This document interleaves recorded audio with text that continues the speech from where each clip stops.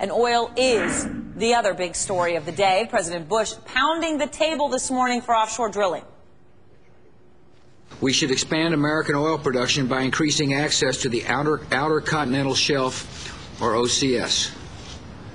Experts believe that the OCS could produce about 18 billion barrels of oil.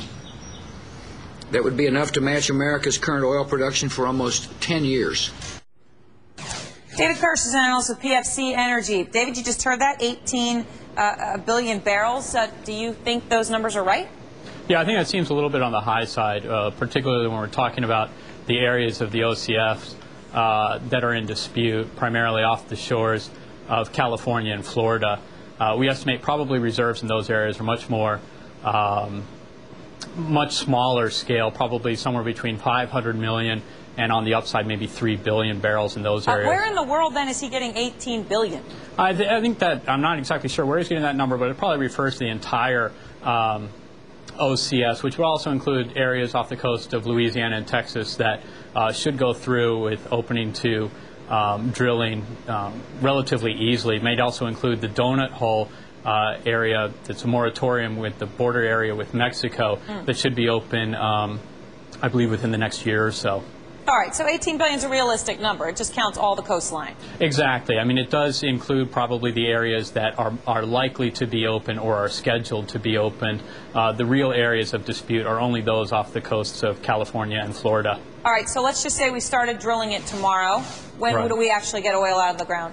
If we're lucky, uh, you start drilling tomorrow, maybe three to five years, but I think probably somewhere uh, five to seven is a little bit more realistic, and probably 10 years is where you're going to start seeing uh, the peak production flow out of this area. Well, you mentioned the word peak, and that makes me think of Matthew Simmons. He's the chairman of Simmons and Company International. He's here, and we know he subscribes to the peak oil theory. We found all there is to find. Uh, Matt, what, what do you think? Uh, do we do we have that oil there? I mean, would it would it help? You know, it would have helped. Uh, we, it's something we should have done. Uh, Should have, would should have. would have. Uh, It's all past tense. Today we're out of rigs, so if we opened everything up, uh, you know, I think the number is correct that we've drilled something like 50 to 60 dr- wells in the history of the United States and the, off the East Coast.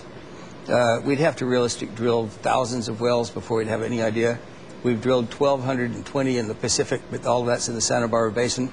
Um, we had a spill back in 1969, and basically we cleaned up our block technology, but we, the Greens basically shut down drilling every place. So we're now in a very deep energy hole, and we don't have any rigs, so we have to stop talking about it. Fair point. It takes a long time to get that. Can I, may I just ask you an honest question here? Because this is a big, uh, this is not, this is not a joke. How ugly is it? If we were to go look for it, would I see it if I'm sitting on the beach on the Jersey Shore on the North Carolina oh, coast? no, you wouldn't see anything.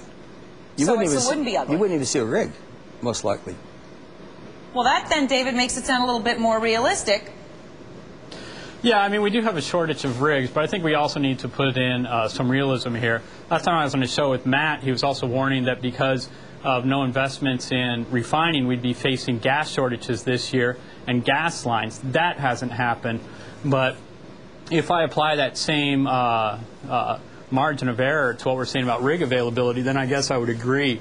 We're in a, a period where rigs are tight, but we're also building out new rigs. It will ease over the coming years, but yes, we are facing uh, uh, uh, shortages throughout uh, the value chain, all throughout this oil service sector, which is helping to push up costs.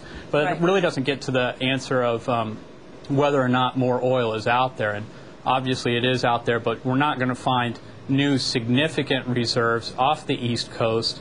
Probably not off the coast of Florida either, and mm-hmm. California for political reasons. Even if it goes forward on Congress, it's probably a dead issue for the oil companies. Fair point, David, and I know Matt would agree, so let me give you the last word, sir. Big picture, is there anything giant out there to be found? For example, under the Arctic, where they say we got three times more oil than Saudi Arabia's got. 40 years, 220 dry holes in the Arctic. So until we find something else, we should stop imagining we're going to find something else. And we should start looking for something else altogether. Yeah, travel less. All right, well, that is the perfect segue to where we're going to be going next, which is to talk about what could replace oil. Thanks so much to you, Matt. Appreciate your coming in. it's always good. good to see you. You also, David. Thanks.